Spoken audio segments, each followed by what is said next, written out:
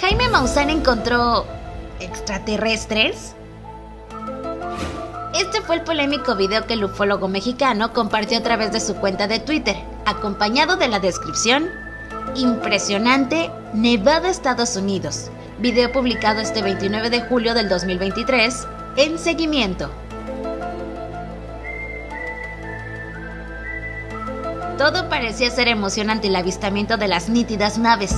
Sin embargo, esto duró muy poco y todo cambió cuando el video comenzó a circular por internet y los usuarios comenzaron a especular que se trataba de una fake news. Los internautas argumentaron que dicho video en realidad había sido creado con un simulador aéreo de combate digital y pertenece a la red social llamada Iceman Fox One. ¿Y tú al igual que Maussan, creíste que eran extraterrestres?